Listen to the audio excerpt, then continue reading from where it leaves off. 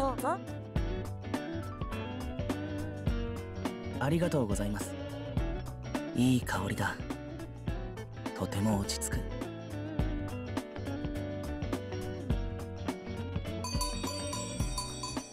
メイコさんこんにちは。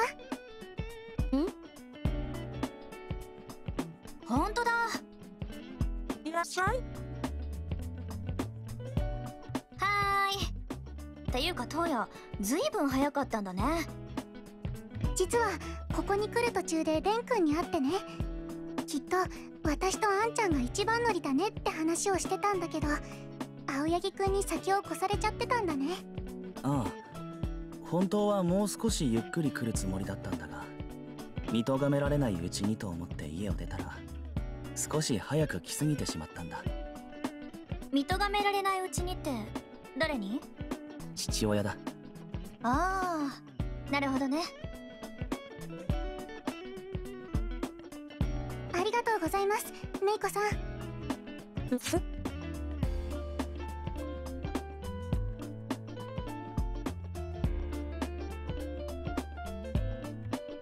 うん。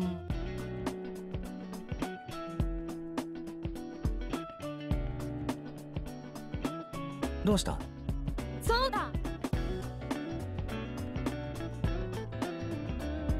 そうなのか？早く集まっておけば声出しをしたり観客の様子を下見したりできるメリットがあるからだと。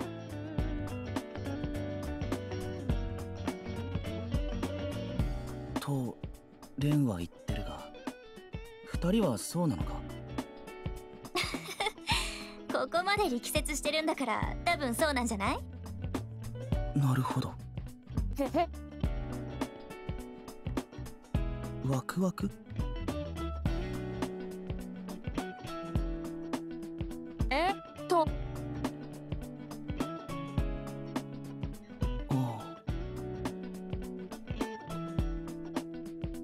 えっと私はわかるよ。